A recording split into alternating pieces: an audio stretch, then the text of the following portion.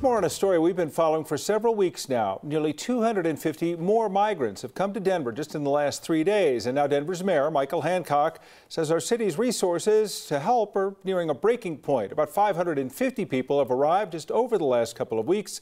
So today the mayor issued an emergency declaration to try to help up, uh, free up, I should say, additional resources. The city now has three rec centers open as shelters and is partnering with other nonprofits to make sure the migrants have everything they need. But Hancock says there's only so much the city can do on its own.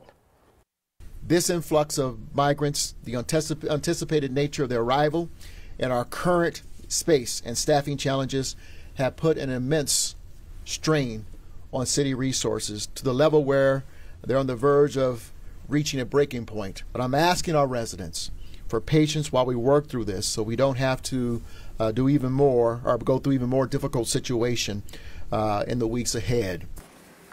Anyone who wants to help can visit denvergov.org. Uh, there's a list of donations they need, and it has more information on how to volunteer at some of the shelters if you're interested in that.